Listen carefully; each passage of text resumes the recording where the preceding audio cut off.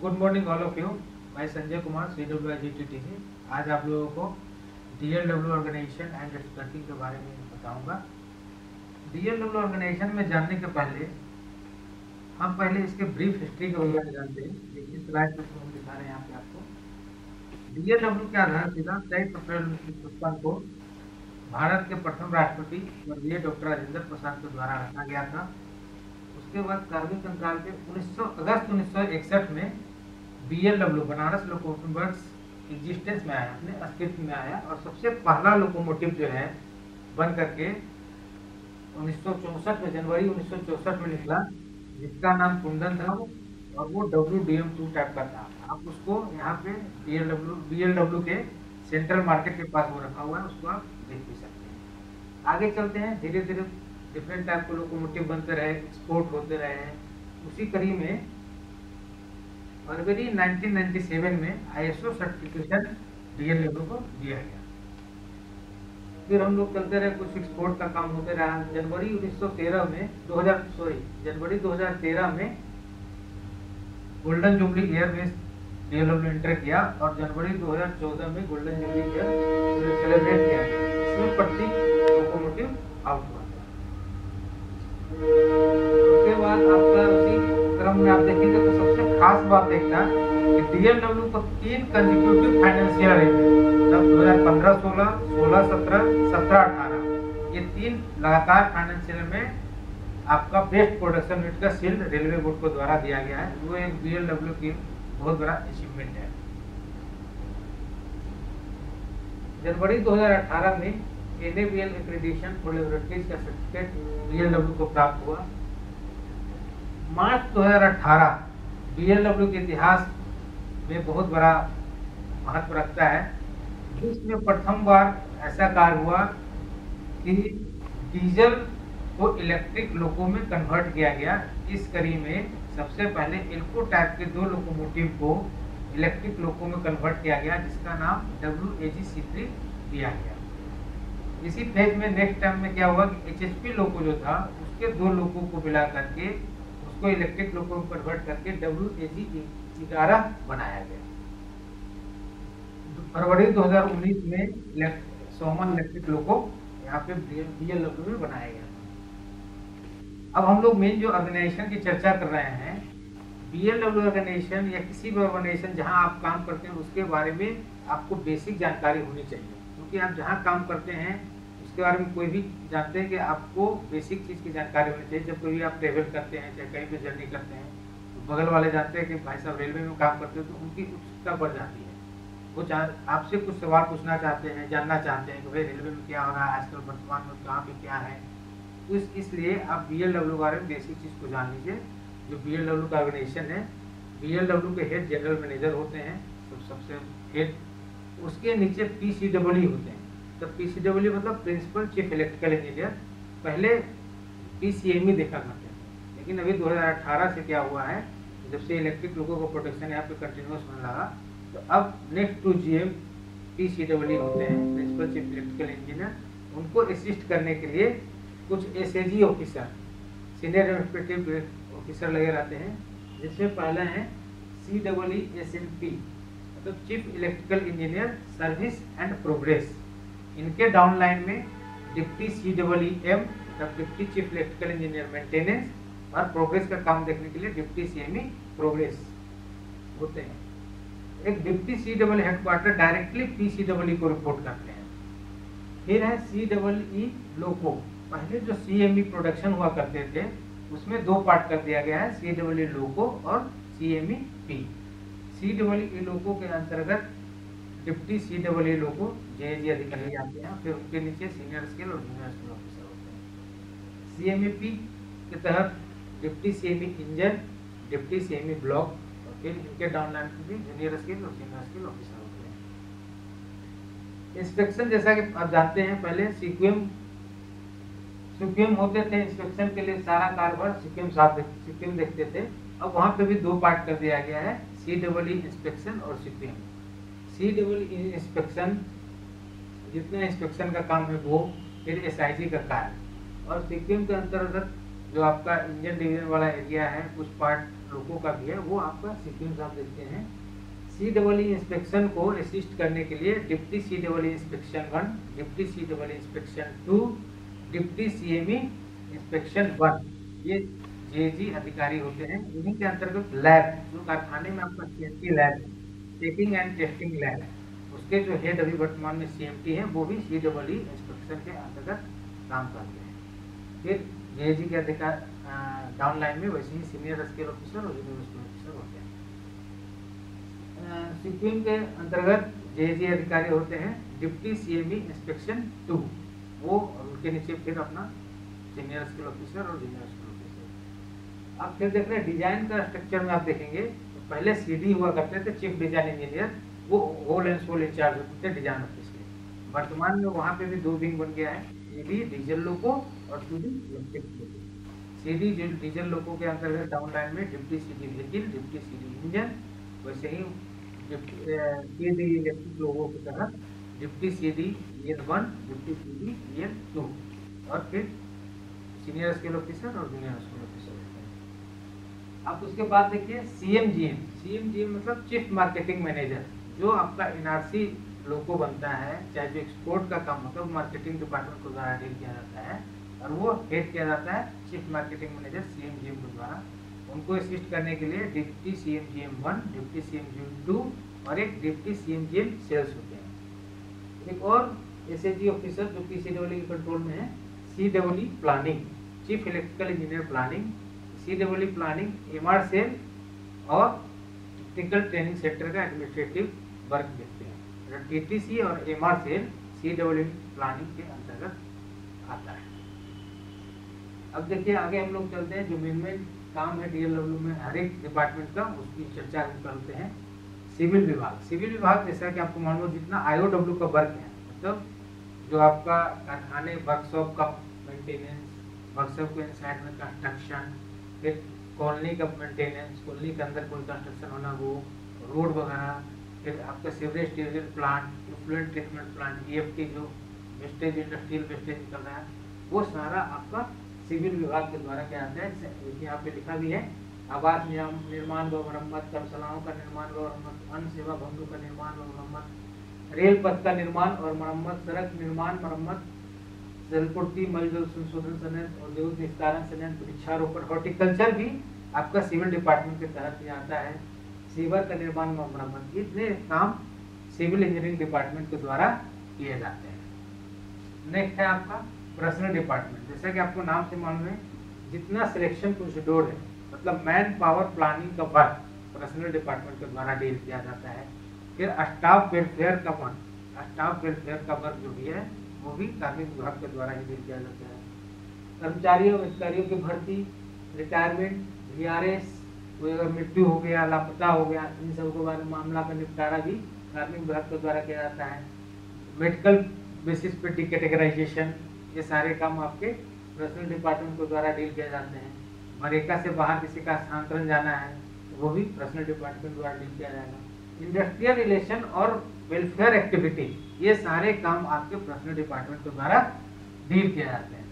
Staff council का चुनाव कराना, ये सब काम भी पर्सनल डिपार्टमेंट के अंतर्गत है। की हम आपको बात कर रहे थे। उसके तहत आपका स्कूल सिनेमा क्लब रिक्रिएशन के लिए बरेका संस्थान, बरेका महिला संगठन, बरेका कर्मचारी क्लब फिर स्टाफ बेनिफिट फंड बैंक डाकघर, ये सारा काम आपको पर्सनल डिपार्टमेंट के द्वारा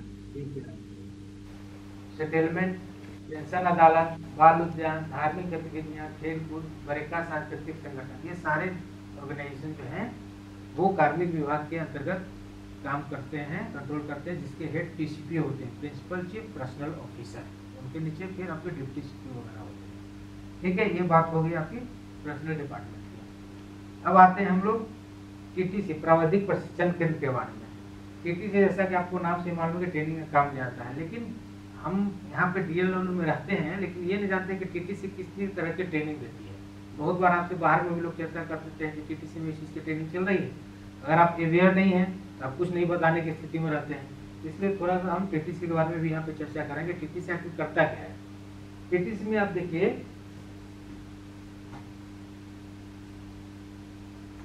टीटीसी की स्थापना आपका 2 फरवरी उन्नीस को तत्कालीन श्री बीबी गिरी द्वारा गवर्नर ऑफ़ उत्तर प्रदेश के द्वारा किया गया था। मिशन आपका यहाँ पे लिखा हुआ है क्या क्या यहाँ पे लर्निंग वगैरह करते हैं। फिर आपका मेन वर्क क्या है? In house and outside institutional training for B L in house training करने का मतलब कि जो वर्किंग एम्प्लॉय है बी एल डब्ल्यू उनको ट्रेनिंग इम्पार्ट करना क्योंकि टेक्निकल ट्रेनिंग सेंटर का मेन फ़ंक्शन है। अगर कोई ट्रेनिंग बाहर टीटीसी डीएलडब्ल्यू टीटीसी के बाहर अगर कोई ट्रेनिंग देनी है तो वो काम भी टीटीसी के द्वारा किया जाता है पर्सनल डिपार्टमेंट के लाइनिंग के साथ। मान लीजिए A T I F T I Bangalore वगैरह में ट्रेनिंग देना है हो तो उसका सारा पेपर फॉर्मेलिटी टीटीसी के द्वारा ही होगा। दूसरा है इनिशियल ट्रेनिंग और न्यूली रिक्रूटेड स्टाफ रिक्रूटमेंट किस किस बेसिस पे हो सकता है आपका? आरआरबी के थ्रू हो सकता है कंपसनेट ग्राउंड पे हो सकता है स्पोर्ट्स कोटा पे हो सकता है कल्चरल कोटा पे हो सकता है। तो इन सब चीज़ों को देखिए यहाँ पे लिखा हुआ भी है। आरआरबी आरआरबी सीजी मतलब कंपसनेट ग्राउंड स्पोर्ट्स कोटा पे भी होता है सिलेक्शन यहाँ पे कल्चरल और सांस्कृतिक पे जो गायन हो गायन है, नृत्य है, वादन है इन सब का आधार पर जो सिलेक्शन होता है। कल्चरल कोटा के तहत होता है। अथवा प्रमोशन ऑफ़ बी मतलब जो आपके, मान लीजिए कोई हेल्पर है, वो क्लास फोर में है, वो प्रमोट करके फिर टेक्नीशियन बनते हैं तो उनकी भी ट्रेनिंग दी जाती है। जो क्यू एस क्यू का एग्ज़ाम होता है तो कभी कभी आप देखते हैं टाइम टू टाइम डेली का बी एल डब्ल्यू के द्वारा आयोजित किया जाता है। ट्रेनिंग ऑफ़ प्रोफेशनल जो I R S M E I R S E double E I R traffic के प्रोफेशनल आते हैं, उनकी ट्रेनिंग दी जाती है। फिर जूनरल रेलवे के ऑफिसर एम ई वगैरह भी कभी कभी आते रहते हैं, उन लोगों की ट्रेनिंग यहाँ दी जाती है। जूनरल रेलवे से सुपरवाइजर आते हैं, उनको भी यहाँ पे ट्रेनिंग दिया जाता है। एक्ट अप्रेंटिसेस एक्ट अप्रेंटिसेस को भी यहाँ पे ट्रेनिंग दिया जाता है। वो दो मोड से रहता है आईटीआई और non I T I basis पे यहाँ पे दिया जाता है। वोकेशनल ट्रेनिंग जो आपका समर में वोकेशनल ट्रेनिंग का ट्रेनिंग यहाँ पे दिया जाता है, जो अंडर ग्रेजुएट स्टूडेंट्स के लिए। प्रधानमंत्री प्रधानमंत्री कौशल विकास योजना के तहत कौशल विकास के अंतर्गत जो ट्रेनिंग दी जाती है, वो लेकिन लोकल यूथ के लिए होता है। लोकल यूथ का इसलिए किया गया कि जो स्थानीय निवासी हैं, उनको चार ट्रेड में कारपेंट्री मशीनिस्ट इलेक्ट्रीशियन कारपेंट्री में कारपेंट्री मशीनिस्ट, इलेक्ट्रीशियन और वेल्डर। इन चारों ट्रेड में उनको दो सप्ताह का ट्रेनिंग दिया जाता है ताकि वो अपना बेसिक चीज़ जान करके स्वरोजगार कर सकते हैं। चाहे कहीं पे अपना वर्किंग कर सकते हैं प्राइवेट वगैरह नौकरी कर सकते हैं। और उसके अलावे टाइम टू टाइम पे सेमिनार हॉल और ऑडिटोरियम हॉल में सेमिनार वगैरह का आयोजन टीटीसी में किया जाता है, जो कि बरेका के सभी कर्मचारियों और अधिकारियों के लिए लाभदायक है। मेन एक्टिविटी एक और भी है हमारे यहाँ टीटीसी में I R W Indian railway building institute उसमें बिल्डिंग से संबंधित सारे ट्रेनिंग वगैरह प्रोवाइड किए जाते हैं मॉड्यूल के अनुसार। वहाँ मॉड्यूल बना है उसके अनुसार ट्रेनिंग दी जाती है। ये इंफ्रास्ट्रक्चर वगैरह जो टीटीसी में उपलब्ध है, उसके बारे में यहाँ पे आपको स्लाइड में दिखाई दे रहा है। आप देख सकते हैं उसको। टीचिंग एड्स जो लेटेस्ट टीचिंग एड्स होना चाहिए, वो सारे संसाधन रिसोर्सेज टेक्निकल ट्रेनिंग सेंटर में उपलब्ध है। कोर्स डिटेल जो हमने आपको एक दो स्लाइड पहले चर्चा किया था, इसमें कितना ड्यूरेशन होता है वो भी जानना है। जैसे जो आरआरबी के थ्रू जेई आते हैं, चाहे प्रमोशन आईएम के द्वारा जेई बनते हैं, उनकी एक साल की ट्रेनिंग दी जाती है। इनिशियल ट्रेनिंग की चर्चा हम आपसे किए थे तो जो आरआरबी कोटा के थ्रू आर्टिजन्स आते हैं, उनका सिक्स मंथ का ट्रेनिंग होता है। बाकी जो sports quota cultural quota CG president gun scout and guide पे जो टेक्नीशियन आते हैं आर्टिजन आते हैं, उनकी तीन साल की ट्रेनिंग होती है। और एक्ट अप्रेंटिसेज में बिल्डर, जो नॉन आई आते हैं उनको पंद्रह महीने की ट्रेनिंग जो आई टी आई बेस्ड पे बिल्डर होते हैं, उनकी एक साल की ट्रेनिंग बाकी ट्रेड में आई टी आई किए हुए बच्चों का एक साल का ट्रेनिंग और नॉन आई टी आई किए हुए बच्चों का दो साल की ट्रेनिंग होता है. डिप्लोमा अप्रेंटिसेज का एक साल का ट्रेनिंग होता है, जो तीन साल का डिप्लोमा पॉलिटेक्निक वगैरह करके आते हैं और एक साल का यहाँ पर ट्रेनिंग करते हैं, उनको एक साल की ट्रेनिंग मिल जाती है. वोकेशनल ट्रेनिंग हम आपसे पहले ही चर्चा कर चुके थे समर भी चलता है हमारे यहाँ अंडर ग्रेजुएट बच्चों के लिए वो चार से छः सप्ताह का होता है। मैक्सिमम सिक्स वीक का ही कराया जा सकता है। ठीक है? अब हम लोग आगे चलते हैं।